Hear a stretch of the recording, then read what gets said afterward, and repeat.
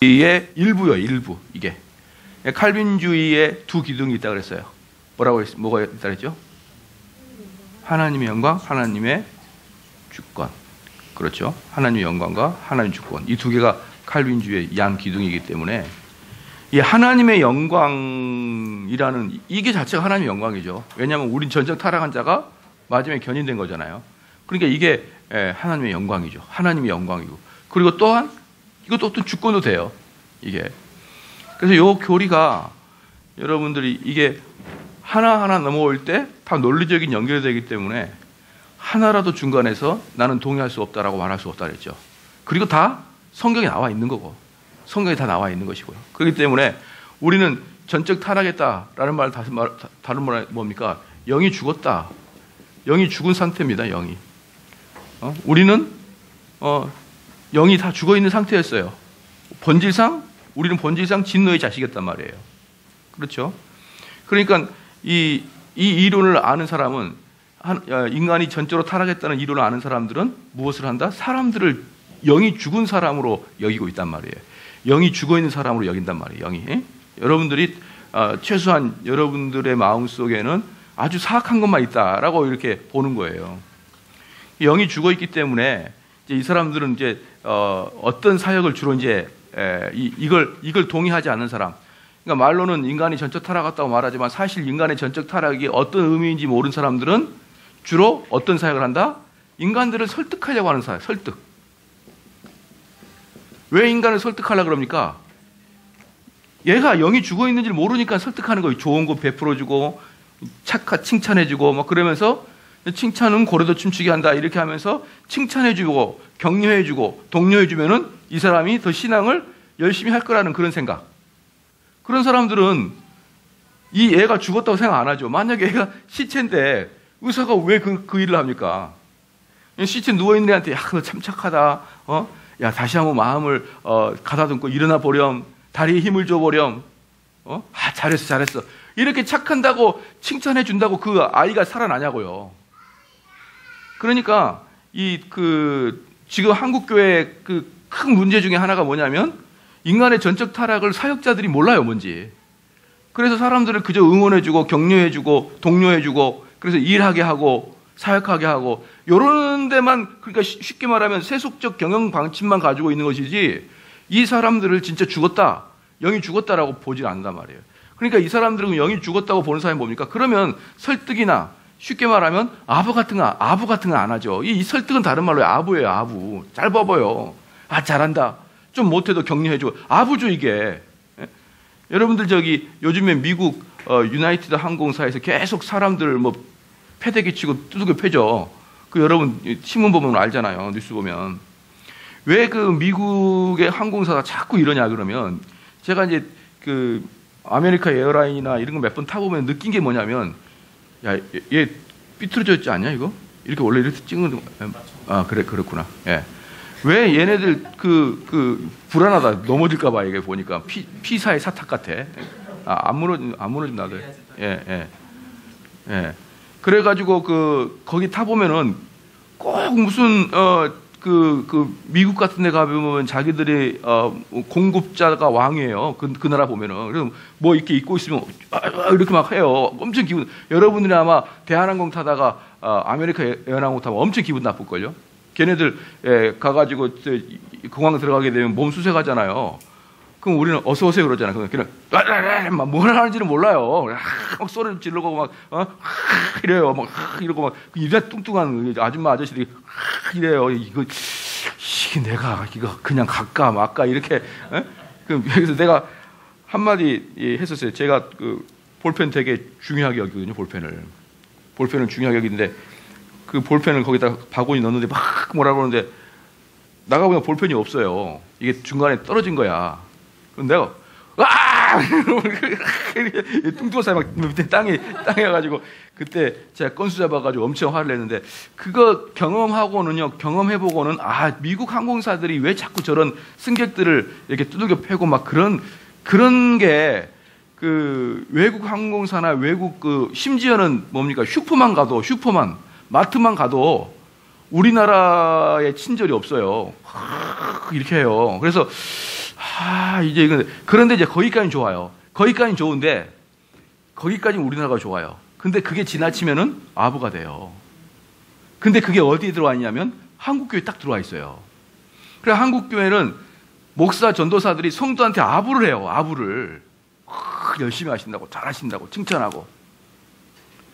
그 내가 좀 쪽팔리지도 않냐? 어? 왜 그렇게 아부 아부시게나 하냐? 아, 네네네. 네, 네. 뭐 하냐 지금? 그 네네하는 게 그게 겸손인 거냐? 그건 가증한 거지. 속으로는 그렇지 생각지도 안 하면서. 맞아요, 맞아요. 내가 안 돼, 네. 그러면 내가 아우 저 사람 겸손하구나 그렇게 생각할 거예요?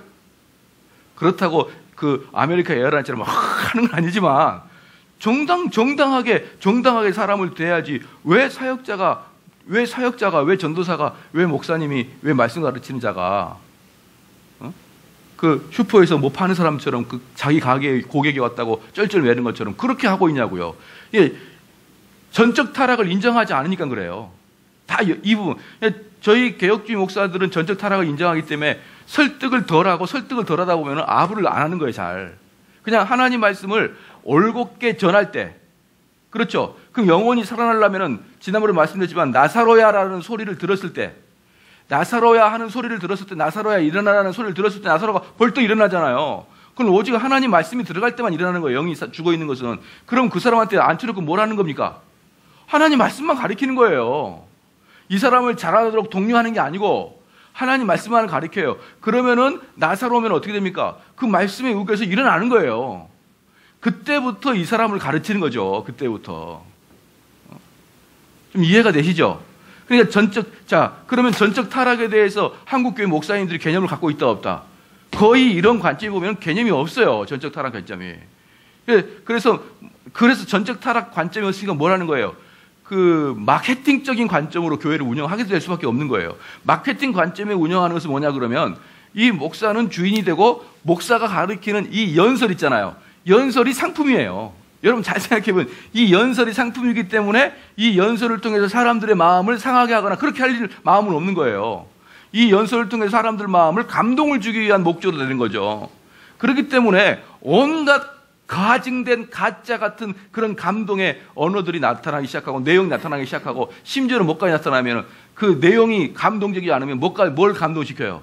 목소리라도 감동을 시키는 거예요. 죽겠어 이러면서 그래서 온통 이 말씀 자체가 강론 자체가 뭐가 되기 때문에 맛, 어, 상품이 되기 때문에 이 상품을 사람들한테 어떻게 잘 파느냐에 달려 있는. 그래서 사실은 이렇게 말할게요. 저 여러분 이렇게 말해보면 여러분 놀랄지도 몰라요. 그분들 여러분 구원에 관심 없어요. 진짜예요. 뭐에 관심 있다? 교회 성장에 관심 있어요. 왜 제가 모를까요? 내가 만나는 사람이 수천 명, 수백 명 목사인데 수백 명 목사 중에 만나는데 그 목사들이 정말 자기 성도들 구원에 관심 있다고 아무도 이야기 안 해요. 만나면 전부 뭐, 무슨 이야기 합니까? 몇 명 늘어났다. 그 다음에 뭐, 뭐, 뭐 한 거예요? 교회 건축하는데 뭐 한다. 교회 건축하는데 뭐 F다. 이런 얘기 하는 것이지 정말 내가 어떻게 해야 우리 성도들을 구원의 길로 갈 것인가? 우리 성도를 어떻게 해야 그리스도 앞에 설 것인가? 이런 이야기 하는 목사들을 본 적이 있다 없다. 마르투스 목사님 외에는 거의 개혁주의 목사들 몇 명 빼고는 지금 그 분들을 빼고는 제로입니다. 제로. 제로예요. 여러분 놀라지 마세요. 총회 가면 수천 명 목사가 오잖아요. 그명 목사들과 제가 일일이 다 대화는 안 해봤지만 거기서 만나는 목사들은 한 명도 예외 없이 성도의 구원에 관심 있는 사람 아무도 없었어요. 여러분, 여러분 속지 마세요. 과부 마음 호레비가 알고 호레비 마음 과부가 안다고 우리 목회자는 눈만 보면 다 알아요. 예, 소가 왔죠. 소가 왔는 거예요, 소가. 왜? 오늘 어, 이번 주부터 배울 것에 대해서 여러분들이 거의 이제 예, 예, 이거 끝나고 이제 새로 단원 들어가는데 이게 엄청나게 중요하거든요. 이것들에 대해서 여러분 공부를 하나도 안 해봤기 때문에 그러는 거예요. 그러다 그 다음에 그래서 전적 타락 이 전적 타락의 개념이 딱 망가지니까 뭐가 되는 거예요? 그 다음에 곧바로 마케팅이 들어가는 거예요. 마케팅으로. 요걸 그러니까 이것을 우리 성도와 목회자가 이것을 이 관점을 깊이 갖고 있다는 것은 목회 사역 전반을 다 바꿔버리는 겁니다. 목회 사역. 이런 사람들은 전적 타락 동의한 사람들은 주로 뭘만 할까요? 그 사람을 깨우는 그 사람의 영혼이 살아날 수 있는 그 말씀만을 가리키는데 영혼이 살아나는 말씀은 다 어떻습니까? 날카롭고 강하고 세고 아니 아, 주님은 당신을 사랑합니다. 그런 말씀 가지고 누가 일어나요? 그 마음에 단단한 것이 수십 년 동안 깔려 있는 건데 그, 그 속을 뚫고 들어가야 되는 말씀인데 어떻게 사랑의 세라모니의 말씀이 나올 수 있냐고요. 좀 말 같은 소리를 합시다. 우리 속에 암이 있는데 어떻게 배를 째지 않고 그것을 건져낼 수 있냐고요. 이 속에 암이 있는데 만지자면서 아빠 손은 엄마 손은 약손 이러면서 이렇게 하면은 이 속에 암이 낫냐고요. 고, 그거 예쁘죠. 엄마 손은 약손. 서정적이고 사랑스럽고 아름답잖아요. 근데 째! 막 이러면 어때요? 누워. 말지 시켜. 얘 못 움직이게 꽉 잡아. 얼마나 무서워요. 그래야 정말 그 뭡니까? 치명적인 병은 그래야 낫는 거예요. 엄마 쏘는 약손 그것은 배 아플 때나 좀 그러는 거고요. 무슨 말인지 아시겠죠? 그런데 지금 보편적인 예, 교회 설교는 엄마 손은 약손이에요. 다 보면은 서정적 세라머니예요. 그냥 하, 너무 좋아요. 근데 그 말씀을 듣고 아이고 깜짝이야. 아이고 마음이 찔려. 아이고 내 창자가 다 드러나는 것 같아. 이런 식으로 까발려지는 그런 설교나 성경 공부를 몇 번이나 들어봤냐 이 말이에요. 몇 번이나. 그렇게 하고 있는 사람들은 어떤 놈들입니까 도대체? 어떤 인간들이 그런 걸 목회를 하고 있냐고요. 그런 사람들은. 그런 사람들은 차라리 발 닦고 집에 가서 손자나 보고 있는 게 한국 교계를 위해서 아주 유용한데 그런 사람 다 은퇴하고 한국교 유용하면 몇 명 안 남으니까 그냥 있어도 되는데 원래 그런 사람들은 다 그냥 집에 가야죠. 다. 구원, 성도들의 구원에 관심도 없는데 뭘, 뭐하러 목사를 해요? 그들은 자기 배를 위해서 하느니라. 자, 그 다음에, 그러면 전적 타락했기 때문에 무조건 선택이에요. 왜? 전적 타락한 사람 특징이 뭐니까 하나님을 사랑하지도 못하고 사랑할 능력도 없어요. 전적 타락한 존재. 왜? 죽어 있으니까. 아무 감동이 없단 말이에요. 그럼 전부 다, 다 하나님을 사랑할 마음이 없는데 내가 믿을게요. 라고 할 수는 없단 말이에요. 다 죽어 있으니까. 그러니까 하나님이 무조건적으로 선택을 해주는 거예요. 무조건적으로. 여기서 무조건 선택은 반대말이 뭐라고 했습니까? 조건적 선택이란 말이에요. 무조건 선택은 랜덤식으로, 랜덤으로 뽑는다 이런 개념 아니에요. 그냥 아무나 복골복이야. 탁 하는 거 아닙니다. 무조건 선택이 뭐냐면 조건을 보지 않고 뽑는다는 거예요. 조건을 보지 않고.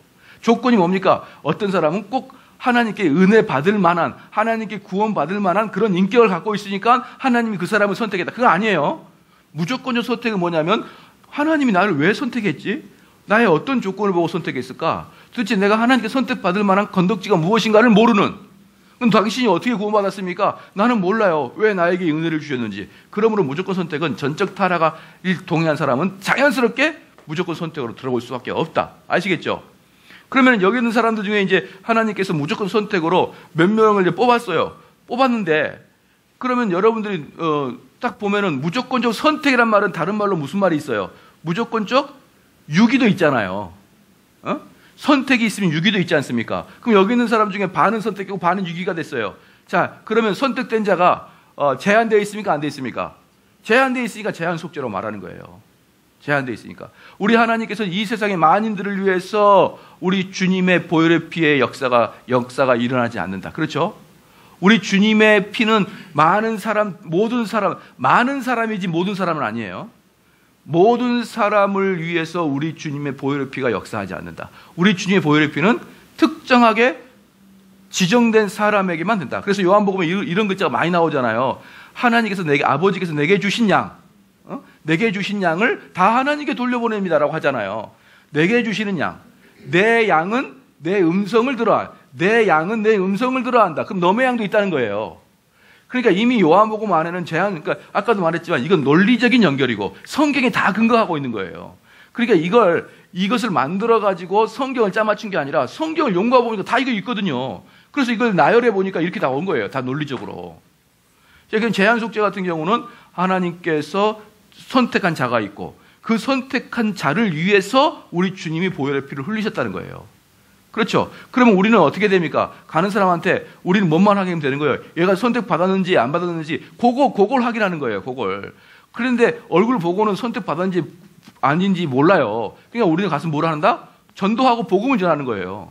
그러면 이걸 제한 전적 타락, 무조건 선택, 무조건적 선택과 전적 타락을 동의하지 않은 사람은 이 사람한테 전도를 어떻게 하냐? 설득하는 거예요. 야, 얼마나 교회 나오면 좋은지 아냐?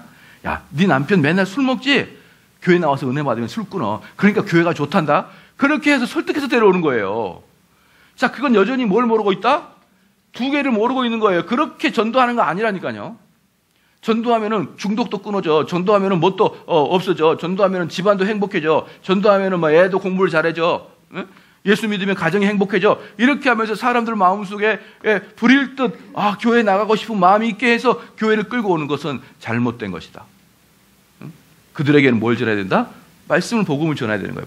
복음을, 복음을. 제한 속죄 아시겠죠? 그러면 그, 그 선택된 자는 그 말씀에 의거해서, 어유 그래? 내가 가볼까? 선택된 자는 그렇게 yes라는 마음이 생기는 거예요. 불택된 자는 아무리 자기가 사랑하는 아내고 남편이고 자기 자녀고 자기 부모라도 불택된 자는 어떻게 돼요? 꿈쩍도 안 합니다. 꿈쩍도 안 해요. 김선희 집사님 내가 김선희 씨한테 어, 100만 원만 줘. 이러면 김선희 씨가 아, 불쌍해. 줄 수는 있는데 선택되지 않으면 교회 좀 나와. 그럼 못 나와요. 이 교회 나오는 게 100만 원 주는 것보다 더 어렵단 말이에요. 불택된 자에게는. 불택자에게는. 그 전까지는 그렇게 선한데 신앙 얘기하면 화를 내요. 그게 바로 제한 속죄라는 뜻입니다. 알겠죠? 제한 속죄라는 뜻. 그 제한 속죄가 있기 때문에 여러분 전도할 때 뭡니까? 저기 어 컴플렉스 가지면 된다 안 된다? 가질 필요 없어요. 아 내가 못 배웠기 때문에 내가 설득을 잘못했기 때문에 저, 저 친구가 저렇게 나를 어, 무시하는구나. 내가 설득을 잘못해서 교회 못 데리구나. 그거 아니에요, 여러분. 물론 여러분의 인격과 비설득을 통해서 사람들이 짜증이 날 수가 있죠. 논리도 뭣도 아니에요, 막. 그리고 평상시에 그 뭐야, 완전히 살아가는 것은 완전히 이거 인간적으로 볼 수가 없는 거예요. 이기적이고 독선적이고. 그리고 교회 가자고 누가 가요? 우리, 우리 성도들이 선해야 될 이유가 뭡니까? 우리 성도들이 착해야 될 이유가 뭐예요? 시작? 복음의 길을 막지 않기 위해서요. 아시겠죠? 그러니까 여러분들의 착함은 복음의 길을 막지 않도록 착해야 돼요. 여러분의 행위를 통해서 복음의 길을 막아버리면 어떻게 됩니까? 그것은 여러분이 하나님께 진노받을 일이란 말이에요. 음? 내가 너같이 예수 믿으려면 차라리 내가 내 주문 믿겠다. 이런 사람도 있잖아요. 얼마나 삶을 그냥 떳떳하게 살지 못하고 정말 나쁘게 살아왔으면 그런, 그런 말을 듣냔 말이에요. 그러면 제한 속죄입니다. 그러면 하나님께서 여러 개는 이제 버리시고 여러 개를 선택했어요. 그럼 이 선택된 사람들을 어떻게 끌고 간다? 은혜를 주심으로 끌고 가요. 은혜를 주심으로. 그렇죠. 근데 여기서 은혜를 주실 때까지, 자, 여기까지, 여기까지, 여기까지 다 하늘에서 이루어지고 있는 거 알겠죠? 나와 상관없잖아요. 그렇죠. 그러니까 여기, 여기에서 비로소 나랑 관계가 있는 거예요. 여기에서 비로소. 그러면 이 은혜를 받기 이전까지는 나는 어떤 상태입니까? 내가 선택됐는지 안 됐는지 모르겠지만 난 죽어 있는 상태예요. 나는 죽어 있는 상태. 그렇기 때문에 나는 죽어 있는 상태이기 때문에 하나님 은혜 좀 내려주세요. 이렇게 할 수 있다 없다? 없다. 그러니까 여기까지도 아직 여기까지도 여기까지도 하나님 나에게 은혜 내주세요. 그럴 수 없는 거예요. 그러니까 이것을 시간적 순서가 아니라 그랬죠. 논리적 순서라 그랬죠. 이건 다 한 방이에요. 한 방. 여기까지 한 방. 그러면 여러분들이 교회 나오면서 하나님 은혜 받고 싶어요. 은혜 내려주세요. 할수 있다 없다? 없다. 불가항력적 은혜. 아무 생각 없이 왔는데 딱 들어보고 은혜를 팍 받는 거예요, 그냥. 어? 그냥 나는 은혜 받고 싶지 않아.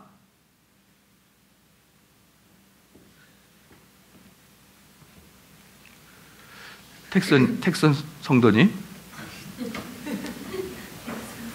우리 문재인 대통령이 얼굴이 잘생겼어요? 못생겼어요? 잘생겼죠. 제가 요번에 조사를 하면 문재인 대통령을 싫어하는 사람 문재인 대통령이 너무 못생겼대. 너무 사람이 그냥 어, 뭐라 그럴까요? 너무 싫대 보기만 해도.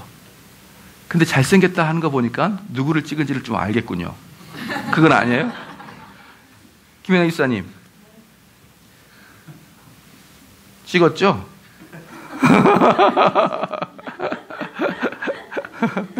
네. 제가 이번에 많이 느낀 게 뭐냐면 문재인 대통령을 싫어하는 사람은 보기도 싫어해요. 어우 막 혐오감 느껴. 어우 보기 싫어. 근데 문재인 대통령이 좋아하는 사람들은 우리 달림, 달림 그래요. 달림, 달림. 저 미소 봐라, 뭐 미소 봐라. 어? 그런데 싫은 사람들은 아우, 그 미소 자체가 가짜 같고 쇼 같아요. 아, 가증스러워요. 이런 사람이 있는가 하면 저 미소 자체가 국격이 있다. 어? 국격이 있다. 요번에 푸틴하고도 예, 그탁 다리 꼬고 푸틴하고 대화를 한 거 여러분 인터넷 보시면 알아요. 푸틴하고 탁 대화 꼬고 대화하는데 저 폼 자체에서 어? 하, 위대함이 나타난다. 또 어떤 사람 댓글에 짧은 다리 꼬지 마라. 어때요, 여러분? 자기가 좋아하느냐, 좋아하지 않느냐에 따라서 달라 보이는 거예요, 대상이. 그러니까 여러분들 눈에는 여기 정대호 목사가 예뻐 보이면 은혜를 받고 있는 것이고요. 아우, 정 목사 저거 이상하다. 이렇게 하면은 은혜를 못 받아서 그러는 거예요. 제 얼굴의 객관적인 팩트가 아니고 여러분의 주관적인 마음에 따라 제가 잘생기게 보이기도 하고 못생기게 보이기도 하고 저랑 같이 식사를 하고 싶기도 하고 저랑 같이 차도 한잔 맞고 싶지 않고 이렇게 달라지는 거예요. 자, 가학력적이 불가학력적이에요. 불가학력적이잖아요. 여러분이 저를 좋아하는 걸 내가 어떻게 막아? 막을 수가 없잖아요. 그럼 막아낼 수가 없어요. 싫어하는 놈 아무리 붙잡아도 절대로 흥, 아, 뭐, 노세요 목사님 불, 불결해요. 네, 거 말하는 거예요. 이런 거. 그러니까 우리의 사랑과 우리의 은혜와 우리의 우정은 뭡니까? 불가항력적인 은, 불가항력적이라는 그런 개념이 있는 거예요. 동의하시죠?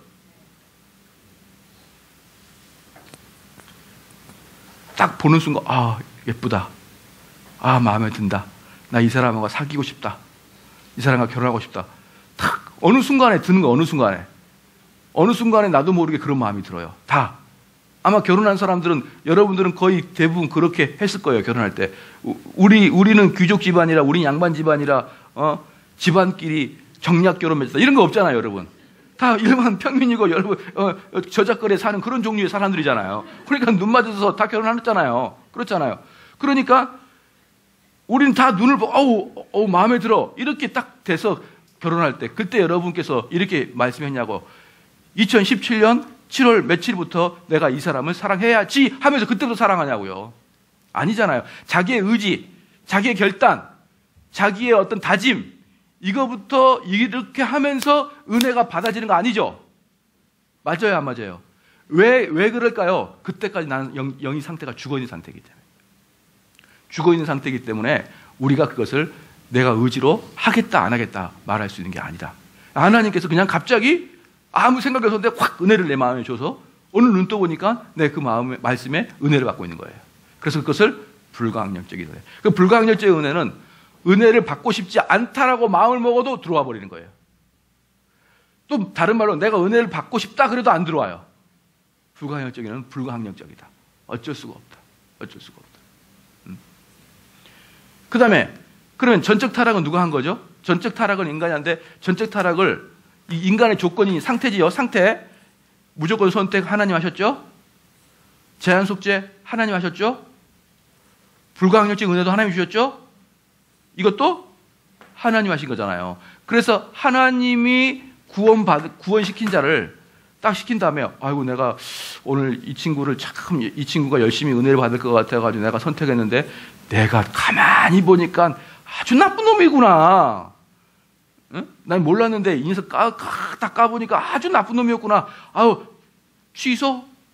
자, 이러면 어떻게 된다 그랬어요? 뭐가 두 가지가, 하나님의 속성 중에 두 가지가 없어집니다. 전지하심과 신실하심. 응? 하나님의 전지하심과 신실하심이에요. 왜? 하나님이 전지하신 것은 얘의 천과 끝을 다 보고 그를 선택했는데, 천과 끝을 다 보고 선택한 분이 실망했다? 우리 김선영 집사님은 어, 남편과 결혼해서 실망했어요, 안 했어요? 자, 이렇게 아무나 찍어보면 다 실망했어요. 우리, 여기, 안 했어요? 왜 봐요? 떳떳하지 못하게 안에 이렇게 그 얼굴 속에는 그내 하고 싶은데 이렇게 할 수밖에 없는 그런 분위기예요. 왜? 우리는 전제하지 않기 때문에 이 남편이 나중에 어떻게 될지 몰라. 어? 근데 하나님은 다 안단 말이에요, 다. 그렇기 때문에 현재와 미래를 다 알고 있는 분에게는 실망이라는 게 없죠. 다 아니까. 다 알잖아요. 모르면 실망이죠. 감춰놨으니까. 그 배우자가 자기의 단점을 감춰놨잖아요. 그래서 결혼하면은 딱 드러내 보여줬잖아요. 이거 몰랐지? 이러면서. 그때부터 여러분들은 실망하는 거예요. 그런데 이, 이 남자가 아주 개차바인 줄 알았는데 나중에 보니까 어, 알토란 같은 게 있어요. 그럼 뭐, 뭐가 되는 거예요? 기쁘죠? 기쁩니까? 안 기쁩니까? 기, 기뻐. 어우, 깜짝 놀라. 아우, 기뻐. 실망도 전제하지 않을 때 실망하는 거고, 기쁨도 전제하지 않을 때 기뻐요. 되셨죠? 제가 흔히 예화를 드는 것 중에, 여러분 월드컵 보면 어때요? 손에 땀을 쥐어요, 안 쥐어요? 지죠? 이기면 어때요? 너무 좋죠? 재방송 보면 어때요? 재방송 보고 손에 땀을 쥐, 그건 인간적 이상해요. 그 재방송 보는데 골 있는데 아 뛰어요? 그건 약간 정신적으로 이상한 사람들이 그래요. 전지하신 사람들은 알아버린 사람들은 기쁘지 않아요. 알면은 기쁘지 않아요. 아셨죠? 알면 기쁘지 않습니다. 알면은 실망도 안 해요. 알면 기쁘지도 않아요. 자, 하나님 기뻐합니까? 안 합니까? 그렇죠. 하나님은 기뻐 안 하신다고요. 하나님 기뻐하시다 그러면 전제하지 못하신 분이에요. 하나님이 여러분의 행동에 따라 기뻐하시고 여러분의 행동에 따라 슬퍼하시면 이미 하나님 파산해 버렸어요.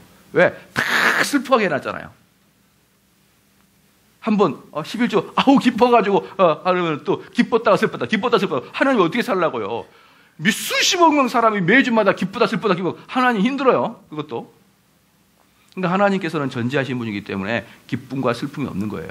단지 성경에 하나님께서 노하셨다 하나님께서 슬퍼하셨다 이런 것들은 인간적인 관점의 해석을 위함이지 실제로 하나님 본성 자체는 기뻤다 슬펐다 이 자체가 신실하지 않는 거예요 하나님은 그냥 아무런 우리 피조물하고 상관없이 그분의 길을 가는 거예요. 그 하나님의 무슨 속성이었어요? 하나님은 피조물하고 관계없이 자기의 길을 가신다. 이게 무슨 속성이에요? 자존 아, 하심. 하나님의 자존하심. 다른 피조물에 의해서 영향받지. 음? 그걸 하나님의 자존하심이에요. 그러니까 여러분이 하나님의 속성만 알고 하나님의 속성을 여러분이 기본적으로 알고 있으면요. 우리의 신앙의 형태 중에서 어, 많은 부분이 어우 상당히 잘못하고 있구나라는 걸 느낄 수가 있어요. 그렇죠. 우리는 나 주님의 기쁨 되기 원하네. 그렇게 노래 부르잖아요. 니나 잘해. 기쁨 되게 하지 말고 너나 그냥 잘해. 그냥 뭘 하나님의 기쁨 되게. 그것은 인간적인 관점으로 이해는 돼요. 무슨 말인지. 착하게 살자는 거 아니에요. 착하게 살자. 나 주님의 기쁨 되기 원한. 너희들 기쁘면 안 된다 기본적으로. 기본적으로 기쁘면 안 돼요. 그냥 하나님이 주신 그 말씀에 순종하는 것은 하나님 말씀에 순종하는 것은 하나님께 기쁨을 주는 게 아니라 여러분에게 축복이고 은혜죠. 여러분 자신에게. 하나님께서 여러분에게 순종하라는 이유는 여러분에게 유익을 주기 위해서지 여러분이 순종한다고 해서 하나님이 유익을 얻겠냐고요. 이 모든 지구에 모든 우주계 다 하나님 건데 여러분 순종하면 뭘 어떻게 하겠다는 거예요. 요번에 그 딱 아르헨티나 갔더니 우리 애들이 마지막 날 오기 전에 예? 오기 전날 자기들끼리 수탁수탁수탁 그래요. 수탁수탁수탁 거리는데 왜 그럴까요? 아빠를 선물을 줘야 되는데 어? 아빠가 뭘 좋아할까? 자기들끼리 돈을 모아가지고 주는 거야. 돈을 모아가지고. 얼마네? 들어보니까 얼마네? 얼마네? 같이. 내가 볼 때는 그게 합쳐서 우리나라 돈은 한 5만 원 돼요. 이걸 모았어요, 애들이. 근데 여러분 잘 아시지만 저에게 5만 원은 큰 돈 아니에요. 근데 애들한테는 어마어마한 돈이거든요. 그 제가 어떻게 했을까요? 받았어요. 그걸 받을 때, 어? 내 마음은 진짜 나빴어요. 아, 이걸 왜 줄까? 얘 너희들 쓰지. 나 이 5만 원 있어도 그만 없어도 그만. 그것도 아르헨티나 돈으로. 뭘 어떻게 하라고. 그래서 공항에서 다시 아내한테 줬어요. 애들 다시 주라고. 근데 제가 그걸 줄 때 애들은 얼마, 나한테 줄 때 얼마나 기뻐할까요? 어? 하, 기뻐하니까 내가 받는 거예요. 제가. 제가 받아줘야 걔가 기뻐하거든요. 저는 찝찝하죠. 그렇죠? 다 부모 돈이잖아요. 다 부모 돈이잖아요, 다. 그래서 다시 돌려주잖아요. 그러니까 여러분의 순종과 여러분의 헌신은 다 하나님의 것을 다시 돌려줄 때 하나님이 그때 여러분의 마음을 보고 어때요? 그때 하나님의 마음은 우리를 짠하게 하고 우리의 일을 보고 짠하고 그 다음에 여러분들은 어떤 거예요? 그걸 가지고 기쁨을 갖는 거예요. 기쁘고 여러분 영혼의 성장이 있고 여러분 유익이 있는 거예요. 그걸 통해서 하나님이 유익을 얻는 게 아니라 여러분이 유익이 있는 거라고요. 여러분이. 얼마나 그 선물을 여러분 선물 줄 때 그거 알잖아요. 선물을 받았을 때 까보세요 그러잖아요. 왜 그걸 까보라 그래요? 그렇지 그 자리에서 기뻐하는 모습 보려 그러지. 근데 저는 동방 에이지이기 때문에 집에 가서 까보고 싶어요. 우리 동양 사람들은 집에 가서 봐야 되잖아요. 근데 사람들 아 까보세요. 때딱 까볼 때 그 그 표정이 그 첫 번째 표정은 여러분 그걸 보고자 하는 거잖아요. 그때 어 한번 순간적으로 첫 이미지가 이러면 아 이거 선물을 잘못 샀구나. 내가 기분 나쁜데 활짝 웃으면 어때요? 너무 기분이 좋잖아요. 선물을 주는 사람이. 그러니까 그 여러분이 하나님께 순종하는 것은 하나님의 기쁨 되기 원함이 아니고 뭐다? 내 영혼의 만족과 내 영혼의 유익과 내 영혼의 성장을 통해 순종하는 거예요. 아시겠죠? 그렇기 때문에 이 견인은 한 번 구원받은 사람은 끝까지 하나님이 끌고 가신다는 거예요. 끌고 가신다. 왜? 만약에 여기 부분에서 견인이 안 되면 어떻게 되는 거예요? 하나님은 이랬다 저랬다. 이랬다 저랬다 하는 분이잖아요. 그렇죠?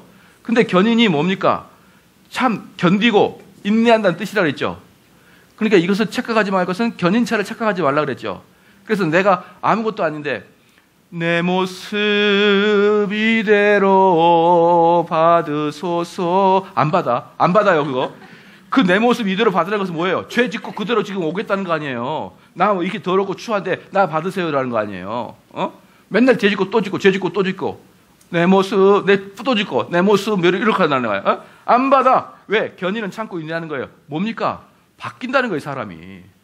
내가 분노하고 내가 그 신앙을 참아낼 수 없을 없을 것 같음에도 불구하고 끝까지 참고 인내하는 것이 구원받은 자란 말이에요. 구원받은 자. 그리고 구원받은 자 나중에 어떻게 되는 겁니까? 정말 예수님처럼 닮아가는 거예요.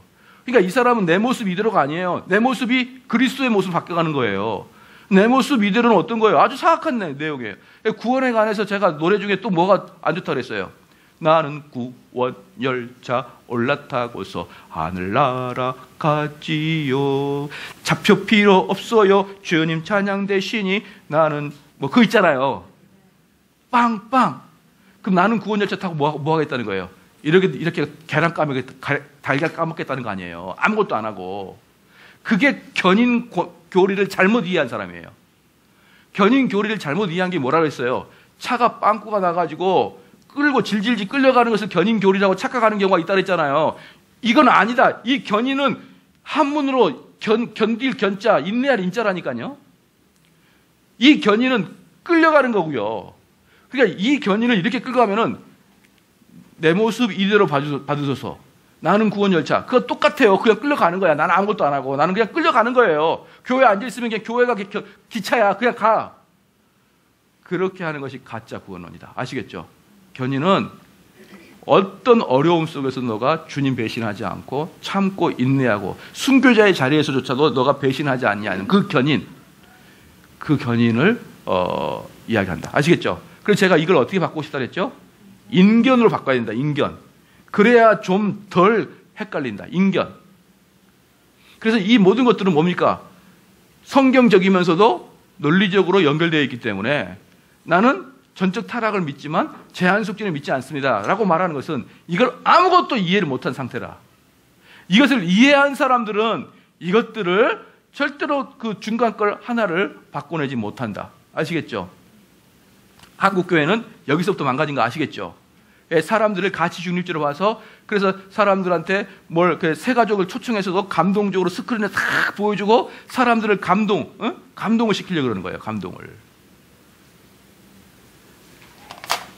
그렇다. 이게 우리가 지난 시간까지 배운 내용의 복습인 것입니다. 내용의 복습이에요.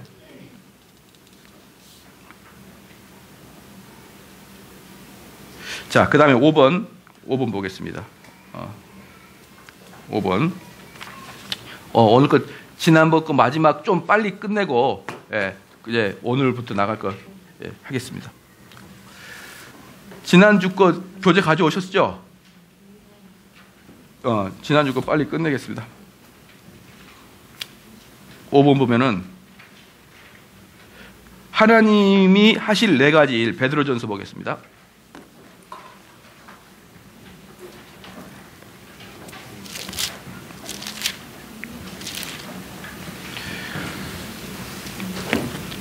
베드로전서 5장 10절.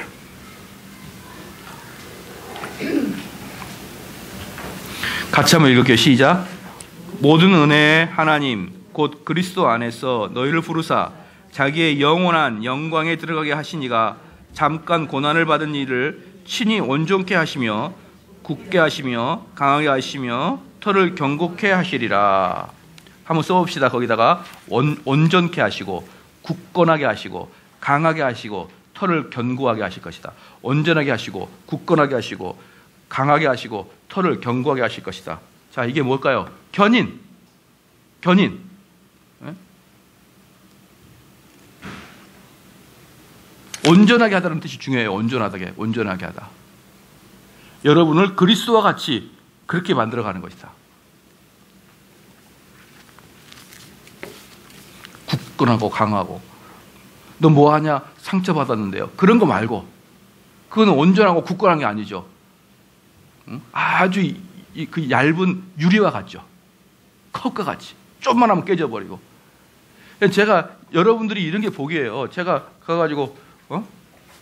왜 이렇게, 이렇게 생긴 게 그래? 이렇게 말을 듣는 사람이 복이에요. 왜냐하면 그 사람들한테 그렇게 얘기해도 그 사람이 상처를 받지 않기 때문에 제가 그렇게 얘기하는 거예요. 근데 내가 누구한테 왜 그래? 그러면 어, 상처받았어요. 그런 사람한테 그렇게 말을 못하죠. 그러면 어때요? 아유, 오셨습니까? 이렇게 얘기하겠죠. 그렇기 때문에 여러분들이 사역자들이 볼 때 지나치게 예의 바르거나 지나치게 조심하게 되는 대우를 받으면요.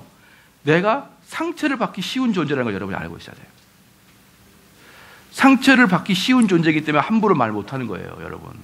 그건 여러분 잘못한 거예요, 여러분이.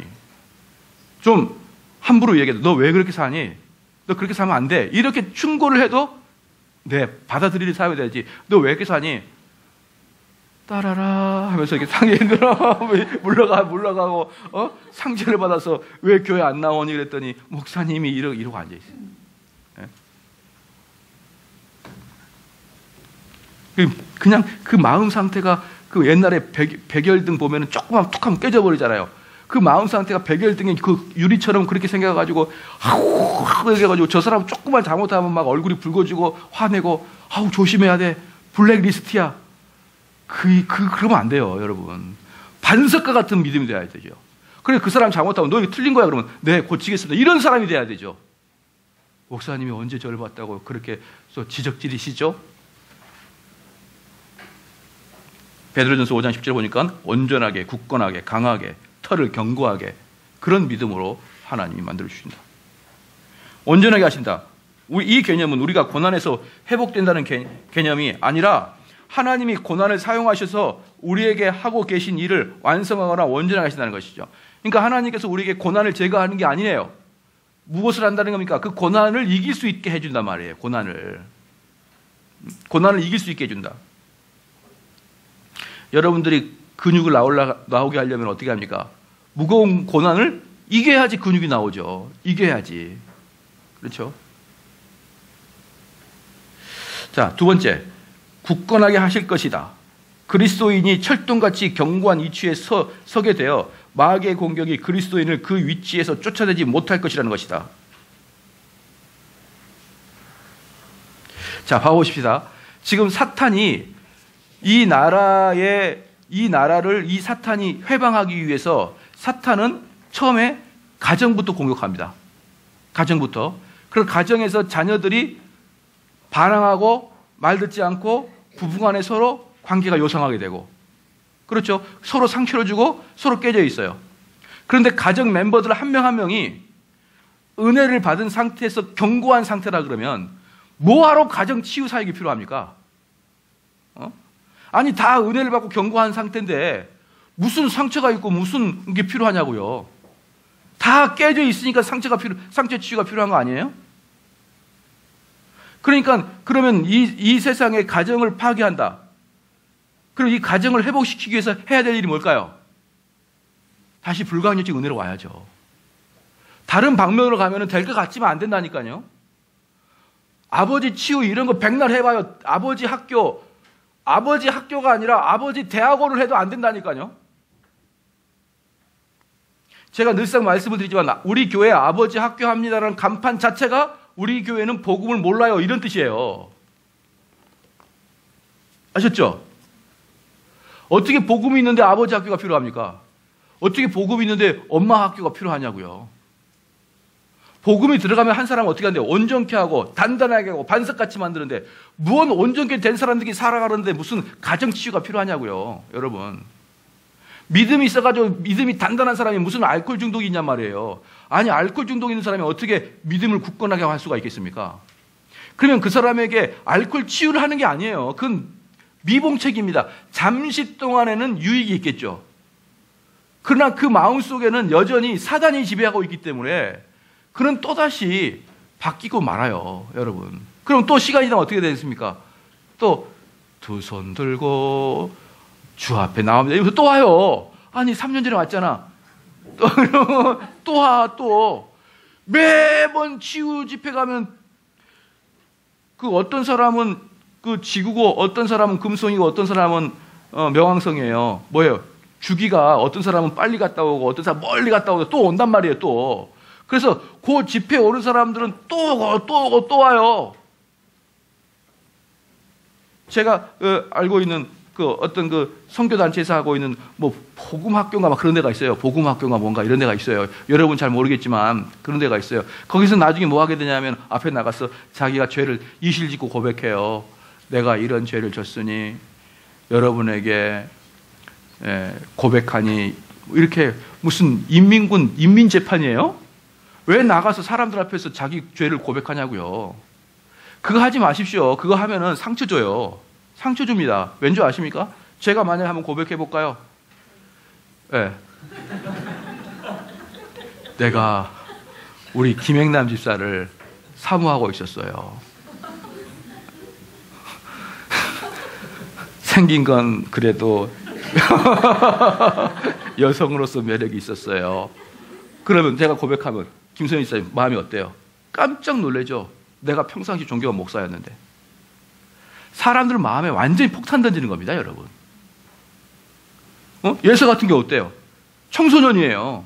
청소년이 우리 목사님 정말 존경하고 있었는데, 저는요, 김현남 집사를 외모는 그렇지만, 이러면서 이렇게 하면 어떻게 돼요? 이러면은 사람들이 깜짝 놀라는 거예요. 그래서, 아, 알지 않아도 될 그 추잡한 것들을 다 알게 되잖아요, 여러분. 그럼 또, 그럼 가짜로 고백합니까?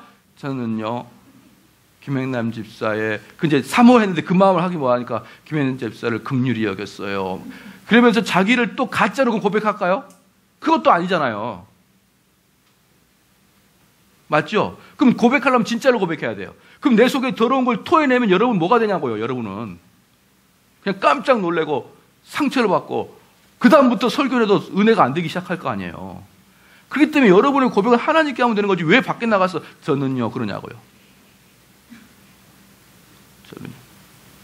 근데 문제는 뭐냐면 그 집회에 어느 사람이 또 있으면 또 와. 그럼 죄를 다 고백했으면 이제 안 오면 되는데 또 오고 또 오고 또 와요. 자꾸 또 와요. 또 저는요 그래요. 그러니까요. 미봉책으로 미봉책으로 뭔가를 하는 것은요 결국은 뭐가 되는 거예요? 또 오게 되고 있는 거예요. 또 오게. 그렇기 때문에 어, 여러분의 마음은 그 하나님께서 굳건하게 하셔서 반석같이 단단하셔서 말씀으로만 교회 안에서 말씀으로만 굳건하고 단단하게 여러분이 마음이 그 뭡니까 신앙인으로서 배신하지 않고 견인하는 마음으로 계속 가게 된다 그러면 우리에게 무슨 치유 사역이 필요하냐 이 말이에요. 되셨죠? 군사님 치유 사역 집회 몇 번 가보셨습니까? 교회 자체에서 교회 자체가 그 교회 자체가 참 자체적으로 문제네요. 네. 자체적으로 문제야. 자체적으로. 우리 예수님께서 치유 집회라고 해가지고 하신 적이 어디 있습니까? 예수님은 그냥 말씀 전하다가 그 그분이 치유할 때는 뭐가 되는 거예요? 구약의 예언이 완성되는 거잖아요. 주께서 오시면은 메시아가 오시면은 절름발이가 똑바로 걷고 소경이 눈을 뜨고 이게 다 구약에 예언되어 있잖아요. 그러니까 우리 주님이 구약에 예언된 메시아라는 걸 보여주기 위해서 그 일이 발생하는 거잖아요. 근데 그걸 딱 띄어가지고 그때도 치유하는 거 지금도 치유한다. 그때 성령이 와서 지금도 그러면 예수님처럼 무리를 한번 걸어가 보라고 한강을 한강 걸어가면 내가 인정해 줄게요. 그렇죠. 그래서 실질적으로 한강을 걷다가 빠진 사람도 있어요. 자기가 보여주겠다 해서 걷다가 빠진 사람도 있어요. 지금 할 수 있다고 믿었거든요. 또 보면은 어, 복음 전하는 자는 독사를 만져도 물리지 않고 물려도 죽지 않고 이러잖아요. 잡다가 지난 몇 달 전에 죽은 거 아시죠? 아프리카 목사 한 명. 근데 그 사람이 전직 뱀쇼 하는 사람이었어요. 근데 뱀쇼 하는 사람이 목사가 돼가지고 뱀 다루다가 물려 죽, 죽었어요. 왜? 복음 전하는 자는 뱀에 물려도 죽지 않고. 한번 여러분 뱀 한, 뱀 한번 잡고 설교해 볼까요? 그런 식이 아닌 거 아시겠죠? 꼭 그렇게 그 아주 아주 그 독특한 것들을 갖다가 현대 교회에서 해보려고 하는 그래서 그 성경에서 이루어진 이 역사가 지금도 이루어진다는 거. 왜 그러면 물 위를 걷지 못하냐고요? 왜 예수님께서 하신 일을 지금도 한다 그러면 왜 그러면은 죽은 사람을 살리지 못하냔 말입니다. 왜 문득병을 살리지 못하고 왜 안진병이 일어나지 않나요? 맨날 그거 아니라니까 뭐 하는 거예요? 예? 저기 우리 권사님이 가는 것처럼 치유나 하시고. 예? 근데 그 치유가 검증이 된다 안 된다? 안 돼. 왜? 주로 마음에 있는 치유니까. 여러분 치유 집회 가가지고 장님이 눈 뜬 거 봤어요? 보인다, 보인다. 뭐가 보이니? 나무 작대기 두 개가 걸어가는 것이 보이는데요. 아 다시 한번 해야겠다. 해가지고 눈을 뜬 걸 봤냐고요. 치유 집회에서. 그럼 그렇게 하시든가. 예수님과 똑같이 하시면 그렇게 하시든가. 왜? 이 모든 것들은 신앙인들의 마음이 굳건하고 반석과 같지 않아서 일어나는 그러한 일들이기 때문에요. 성도가 견인된다는 것, 이 과정을 통해서 마지막에 성도가 견인한다. 이것은 웬만한 상처 가지고는 끄떡도 안 하는 사람들입니다. 웬만한 상처 가지고는. 끄떡도 안 해요. 그 다음에 당신을 강하게 하실 것입니다. 굳건한 것은 방어적인 약속이며 이것은 공격적인 강함입니다. 굳건하는 것은 뭐예요? 어떠한 공격에도 어떠한 상처에도 끄떡도 안 해. 그 다음에 강하다. 이건 뭡니까? 외부에서 우리 교회를 침략하고 말씀과 교리적으로 우리를 침략할지라도 우리는 어때요? 강력하게 그를 처단할 수 있는 실력을 갖게 된다. 실력을 갖게 된다. 그러니까 신천지가 여러분 만약에 신천지가 우리 교회 와가지고 우리 교회를 무너뜨리는 방법은 두 가지가 있는데요. 첫 번째는 야, 너 좀 말씀 배우러 갈래? 독특한 게 있어. 이렇게 해서 데려가거나. 둘째는 뭐예요? 야, 목사님 이상해. 내 목사님 언제 보니까 김행란 집사랑 손잡고 봤거든? 이렇게 해가지고, 어, 왜 목사님 스타일이 이상하다? 이러면서 이렇게 이제, 이제 그렇게 할 수 있어요. 두 가지로 교회를 회파할 수 있거든요. 두 번째는 제가 걸릴 수 있겠죠. 아니 때, 아니 때지만 뗐다고 해, 버리면 되, 니까 음? 사실 김행란 집사님하고 슈퍼 가고 있는데 수련회 준비하러, 야, 나 봤거든? 김행란 집사랑 손잡고 가는 거 봤어. 이렇게 해가지고 어떻게 되는 거예요? 인격과 이런 걸 딱 무너뜨려요. 증거가 없잖아요, 증거가.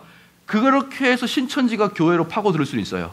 근데 우리 교회는 말씀 배울래? 저 목사님 말씀 좀 잘하는 것 같다?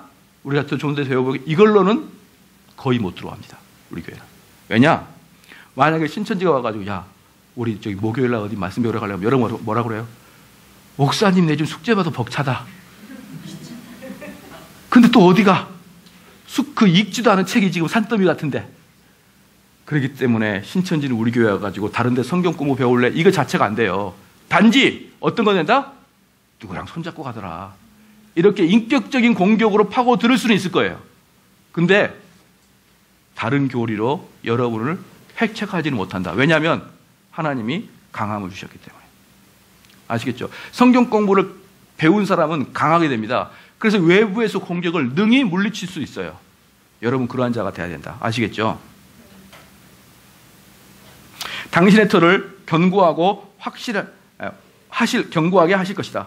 확실한 터 위에서 안전하게 머물 수 있다. 로마서 5장 보겠습니다. 로마서 5장.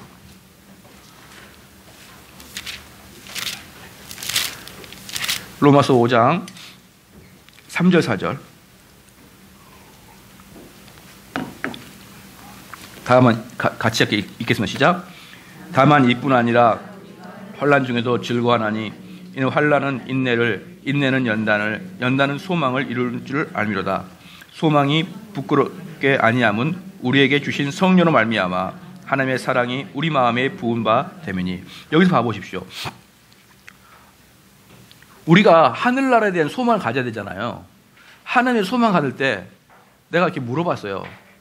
너는 너는 저기 뭐냐 그리스도인이냐? 그러니까 저는 그리스도 맞아요. 왜 그러냐? 저는 하나님에 대한 소망, 하늘에 대한 소망이 있어요라고 말하더라고요. 그래서 제가 속으로 웃기고 있네. 너가 무슨 하늘에 대한 소망이 있어? 왠, 왠줄 아십니까? 하늘에서 소망 5절 하늘에 대한 소망이 있잖아요. 이 소망까지 오기 전에 첫 번째 뭐부터 옵니까? 인내가 있어야 되잖아. 인내. 인내, 연단. 연단은 소망을 이루잖아요. 근데 나는 나는 너의 신앙을 인내한 걸 못 봤다. 어? 조금 하면 넘어지고 조금 하면 쓰러지고 조금 하면 울고 앉아 있고 나는 네가 인내하고 연단해서 승리하는 걸 못 봤는데 무슨 그 이후에 하늘에 대한 소망이 있는 거예요, 여러분. 그냥 인내도 못하고 아무것도 못하서 나는 하나님께 대한 소망이 있습니다. 말로 하고 마음을 짠합니다. 그렇게 해가지고 소망이 생길 것 같습니까?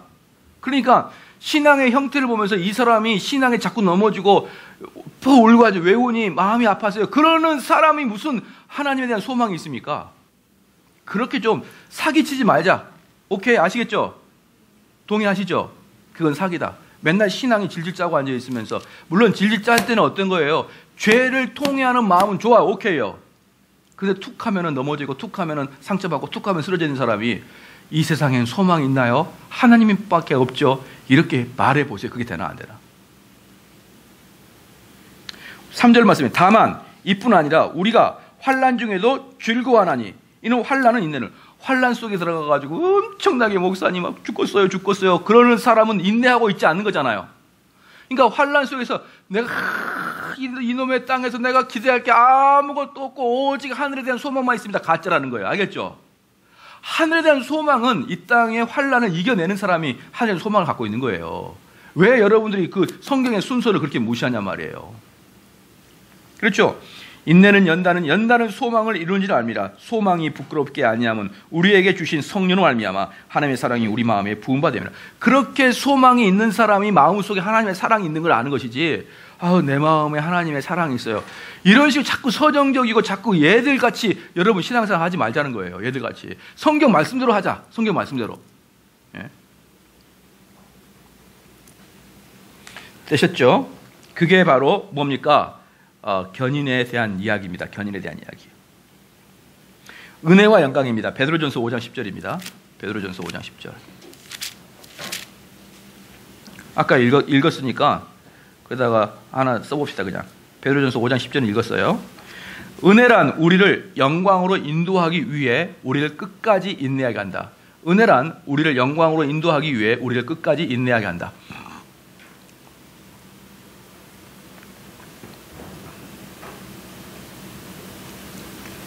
은혜란 우리를 영광으로 인도하기 위해 우리를 끝까지 우리는 끝까지 인내한다.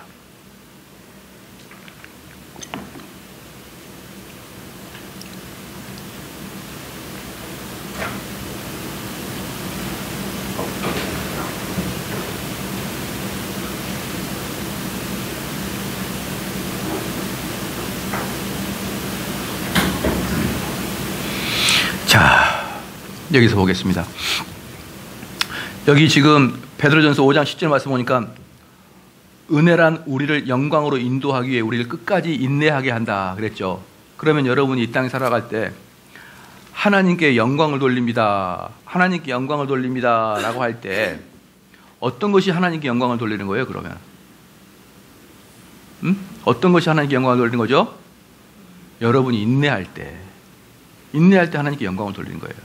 그러니까 여러분들, 이건 맞아요, 안 맞아요?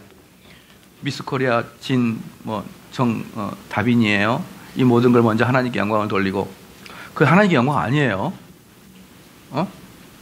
하나님께 영광은 여러분들이 정말 입에서 인생을 저주하고 하나님을 저주할 만큼이나 그런 고단한 세월 속에서도 얼굴의 기쁨과 광채와 하나님을 찬양하는 모습을 보고 세상 사람들이 하나님을 영광을 돌린 거예요. 이 모든 것을 하나님께 영광을 돌립니다. 1번 기호 1번 이렇게 이거 아니에요. 먼저 하나님 뭐, 뭐 시상식 할 때 맨날 그 연예인들 나와가지고 이걸 먼저 하나님께 영광 돌리고 예? 그거 하나님께 영광 돌리는 게 아니라니까요. 여러분들이 그거 만약에 어, 누가 나와가지고 이 모든 걸 먼저 하나님께 영광 돌립니다. 그렇게 이야기해가지고 많은 사람들이 교회에 우르르 나오는 거 봤어요?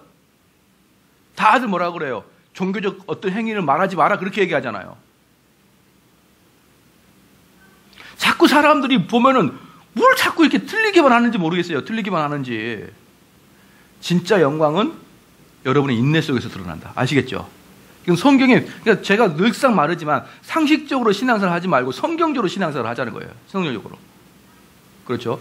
그렇게 해서 여러분들은, 예, 우리는, 그 은혜는 영광으로 이끌어 가게 된다. 그래서 우리도 하나님 영광을 공유하게 될 것이며 실제로 영화롭게 될 것임을 뜻한다. 그래서요, 여러분들이 인내할 때 어떻게 하냐면, 인내해서 나중에 하나님께 칭찬 듣고 싶고, 아, 하나님께서 네가 잘 살았다라는 그런 그 참 이렇게 예, 말을 듣고자 원해서 어? 듣고자 원해서 내가 인내하고 어? 참고 견디고 죽게 헌신하고 이러는 것은 이기적인 게 아니다. 왜 이기적인 게 아니냐? 아이가 엄마 아빠한테 잘 보이기 위해서 엄마 아빠한테 칭찬을 듣기 위해서 재롱 떨고 어? 엄마 아빠 오기 전에 밥, 설거지 좀 해놓고 집안도 청소하고 그래서 엄마 아빠가 기뻐하면 그 기뻐하는 모습 보고 좋아하고 자 이게 이기적인 게 아니죠. 이기적인 게 아니잖아요. 그리고 내가 어떤 여성에게 잘해줘요. 근데 내가 여성에게 잘해진 이유는 뭐냐 그러면 내가 이 여성과 결혼하기 위함이에요. 응? 그러니까 내가 결혼하기 위해서 이 여성에게 잘해준단 말이에요. 자 이거 이기적인 겁니까 아닙니까? 여자가 아이고 나한테 잘해준 거 보니까 결국은 나랑 결혼하려고 그러는 거구나 이런 식으로 할 수는 없는 거예요. 왜? 그것은 이기적인 게 아니에요. 그건 자연스러운 거예요. 또 어떤 학생이 1등 하기 위해서 밤새도록 공부하는 거 이기적인 게 아닙니까? 그럼 그 상태 가 가지고 야 네가 결국은 네 1등 하려고 그러는 거잖아. 그렇게 할 수 없는 거예요. 그건 전부 다 올바른 욕구입니다. 자기가 열심히 노력해서 그 분야에서 두각을 나타내려고 하는 마음이나 내가 어떤 여성에게 잘 보여서 그 여성을 내 아내로 삼고자 하는 마음이나 그렇죠. 내가 부모님에게 잘 효도해서 부모님의 기쁜 모습을 보고 허전하는 이 모습들은 다 나를 나의 기쁨이지만 그것은 하나님 주신 정당한 욕구란 말입니다. 욕구. 그렇기 때문에 여러분들이 하나님으로 또 복을 받기 위해서 하나님으로 칭찬받기 위해서 열심히 주를 위해서 헌신하고 인내하고 참고 견디는 것은 하나님이 합당한 욕구로 여겨준단 말이에요. 야, 너 왜 그러니? 내가 결국 너 결국은 너 하늘나라 천국 가고자 그런 거 아니야? 그거 결국 이기적인 거 아니야? 이건 극단적인 거예요. 극단적인 거. 내가 천국 가서 하나님 우편에 가고 싶다는 그 마음이 왜 이기적인 겁니까? 당연한 것이죠. 추석에 추석에 시골에 부모님 계시는데 추석 전부터 부모님 보고 싶은 마음이 쿵닥쿵닥 뛰고 야 이번에 가, 가고자 가고 싶다 이 마음이 왜 이기적인 마음이에요 하나님 주신 아름다운 마음이죠 그렇기 때문에 여러분들이 하나님 앞에서 참고 견디고 인내하는 것들은 결국은 하나님 보시기에 상금도 주시지만 우리에게 복을 내려 주시지만 그야말로 정당한 욕구다. 아시겠죠? 그러니까 너무 극단적으로 목사님이 이런 것 이런 것들은 도대체 이런 것들은 너무나 너무한 거 아닙니까? 이런 것들은 결국은 어, 결국은 나를 위함이 아니에요. 너희들이 예수님 열심히 믿는 거 결국은 네 천국 가려고 하는 거 아니니? 결국은 이기적인 거 아니니? 이것은 참으로 어리석은 이야기다. 아시겠죠? 정당한 욕구다. 정당한 욕구. 그래 은혜와 영광입니다. 하나님에 대한 재발견입니다. 참된 칼빈주의자. 자,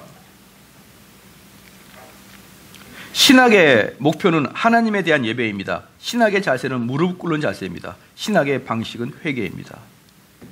여러분 이거 잘 이해가 됩니다. 어, 제가 저희 교회에서 제가 저희 교회에서 그 뭡니까? 아 이 사람은 가르칠 선생이 되겠다. 또는 구역장이 될 수가 있겠다. 요걸 보는 두 가지 기준이 있어요. 두 가지 기준. 이 두 가지 기준 중에 하나라도 통과하지 못하면 그 사람은 아무것도 못해요. 첫 번째는요 당연히 참된 지식이 있어야 되죠. 어? 목사님이 설교할 때 다른 교회에서 듣지 못한 그런 이야기를 하게 되면 구역원들이 어 목사님 너무 강한 아니에요? 그럼 구역장이 충분히 왜 목사님 그렇게 이야기하시는지를 설명할 수 있는 예, 그런 구역장. 두 번째, 그가 자기를 부인할 수 있는 것들이 있느냐? 자기를 부인하느냐? 또는 무릎 꿇는 자세가 나타나기 시작하느냐? 또는 나타날 의향이 있느냐? 이걸 보고 하는 것이지 둘 중에 하나가 없으면요 그 사람은 일 저지릅니다. 일 저질러요. 일 저질러요. 그래서 근데 실제적으로 목사님이 설교하시는 것이 무슨 내용인지를 성도들한테 알려주는 지식 전달은 어렵지 않아요. 좀 열심히 공부하면 됩니다. 근데 그 지식을 가지고 근거를 가지고 자기의 인격이 하나님께 무릎 꿇을 수 있는 그리고 남에게 분노를 절제할 수 있는 자기를 부인할 수 있는 그러한 관계로 들어가는 것을 때부터 그게 바로 신앙이 돼요. 신앙. 너가 참된 신앙인이냐라고 할 때 다른 말로 무슨 말입니까? 네가 참된 신앙인이냐 다른 말은 너가 네 자신을 부인할 수 있느냐 이 말이에요. 네가 참된 신앙인이냐 이것은 네가 삼위일체를 아느냐 이게 아니에요. 네가 너 자신을 부인할 수 있느냐예요. 이게 신앙인이란 말입니다. 이게 그렇기 때문에 신앙인이 아닌 사람들은 열심히 공부해서 자기의 지식을 자랑하려고 하는 것이죠. 그거는 가짜예요. 되셨죠? 그래서 하나님 중심적 사고입니다. 칼빈주의자의 특징은 자 제가 여기 다시 한번 설명해 드릴게요. 사람들이 이제 어 항상 이야기 교회 홈페이지 그 게시판에 썼지만 왜 목사님 자꾸 칼빈주의라고 합니까? 왜 성경이면 됐지? 성경이면 됐지 왜 칼빈주의라고 말합니까? 라고 하는 사람 성경도 별로 안 읽어요 사실. 희한하죠? 성경은 한 10독이라 할 것 같은데 안 그래요. 1년에 한 10독 할 것 같은데. 자, 왜 칼빈주의라고 말하느냐? 칼빈주의는 다른 말로 그렇죠? 알미니안주의가 아니라는 거예요. 칼빈주의다 이 말은 나는 알미니안주의가 아니다 이 말이에요. 그러면 알미니안주의는 뭡니까? 신, 인, 협력적 구원이에요. 지금 무슨 말이냐? 칼빈이 다른 말로 은혜로 말미암아 구원을 얻는다. 이걸 은혜로 말미암아 구원을 얻는다. 이걸 대표적으로 칼빈주의 또는 개혁주의 이렇게 얘기하는 거예요. 되셨죠? 그렇기 때문에 그냥 대표적으로 칼빈주의 우리는 칼빈을 따라간다가 아니고 칼빈이 성경을 해석할 때 오직 은혜로만이 구원을 받을 수 있는 그 이신칭의의 개념을 모든 성경 해석의 근간을 두고 있는 거예요. 칼빈은 루터도 마찬가지고 우리는 그게 옳다는 거예요. 그게 칼빈이 말하고 있는 그 이신치. 그래서 그게 꼭 칼빈이 말한 게 아니고 어거스틴이 말했고 바울이 얘기했어요. 그럼 김, 김성현 집사님, 바울은 칼빈주자의 아니에요? 에? 아, 몸, 몸은 이렇게 하는데 아닌 것 같은데는 이 여러분이 아닌 것 같은 그러면 칼빈주의 그 그러면 바울은 칼빈주의 아니에요? 칼빈주의? 예수님은